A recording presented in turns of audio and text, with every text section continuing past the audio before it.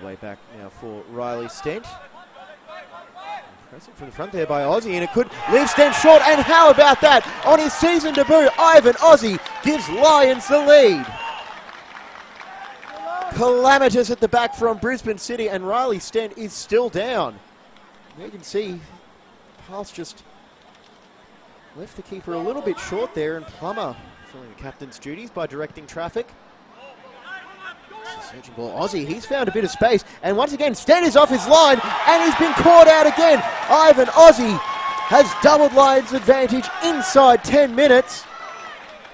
And how about that for an impact in your first game?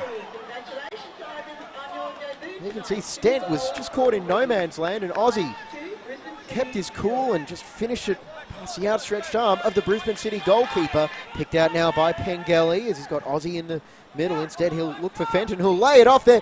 And it's three. Matt Ridenton with a cool finish. And Lions are flying.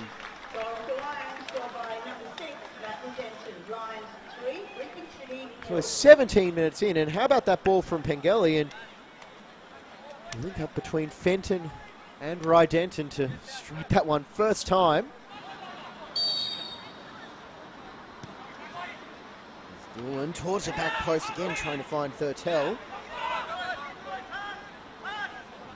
Looking to play it back in again, and there's space. And City get one back on the brink of halftime. It is Jason McQuase. And the set pieces have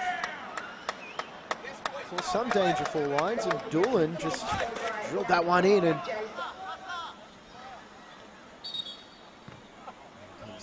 Free kick looking for Daniel Bowles. And the veteran brings Brisbane City back within one. It is game on at Richlands. And how about the delivery from this free kick from Doolan? Bowles players on the bench. Quase nods it on. Here's Thurtell. Munford, and it's off the crossbar and behind so close. Looks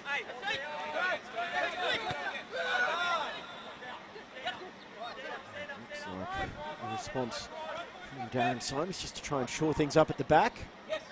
Although they've been caught out there, Scott Halliday. The comeback is complete.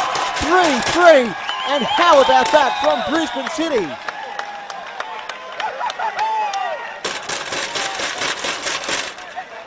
Just an excellent little bit of interplay there hadn't quite settled in yet. And Scott Halliday, Carlos,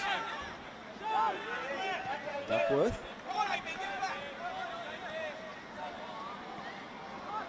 And it, loose touch there and almost a spectacular goal. And it's there on the follow-up.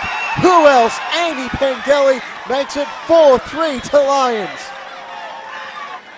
And how about that? The cross goes in trying to the player in Pengelly, as he has been so often. He was right place, right time. The throw there is not dealt with by Stent, and it's fumbled into the goal. And City are furious, but it is going to go down. As Lions fifth of the night. I'm not sure who's going to get credit for it initially. And a yellow card for Riley Stent.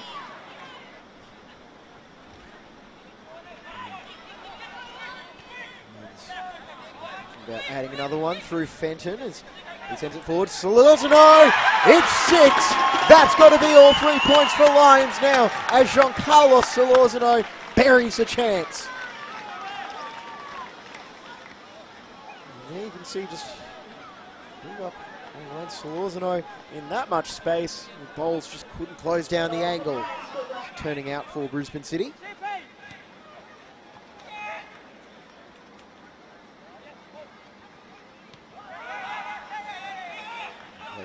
And, oh, and a late, ugly challenge there from Ollie Plasman. And was it on?